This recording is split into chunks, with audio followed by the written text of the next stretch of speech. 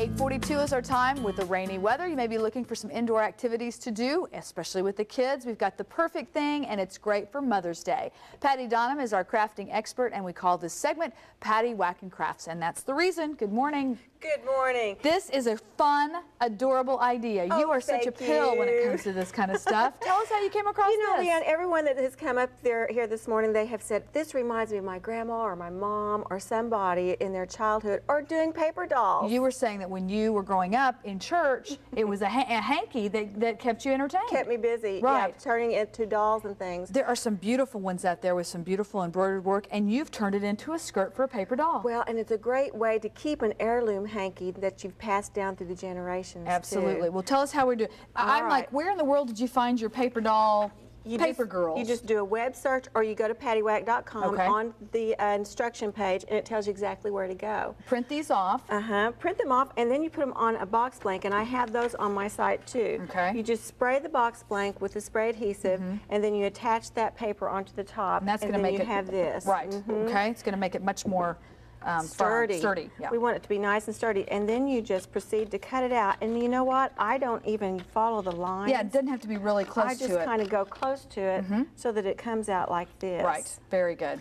And that way you have a little bit more sturdy doll to work with. Mm-hmm. Okay. Now our next step is our hanky. Now you wouldn't believe this. I went to the dollar store and found hankies for a dollar and just added lace to them. Really? Okay. So then you have this nice handkerchief. You just fold it in half and then it folded over an inch. And that makes the little waistband. Uh-huh. Place her right inside just like this. Arms and you around. tuck her in, make her little shoes point down. Pull this over and down.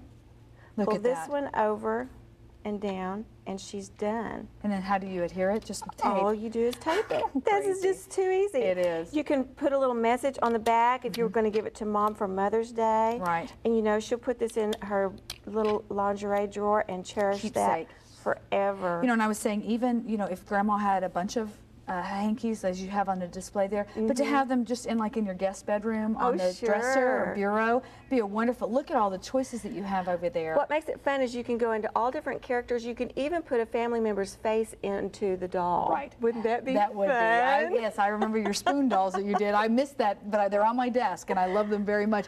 Wonderful ideas, and if you'd like more information, you can check out Pattie's website. It's pattiewack.com. That's E P-A-T-T-I-E-W-A-C-K.com. All sorts of wonderful ideas, especially this rainy weekend. Want to do some things with the kids? There's some ideas is there as well. Thank you very much. Thank you. Happy Mother's Day. We won't see you next week, but we'll see you the week after. That's right. All right, have a good one. Check in with Dick Fro in the Weather Center, and he, uh, now, Dick, do you like these little hanky ladies?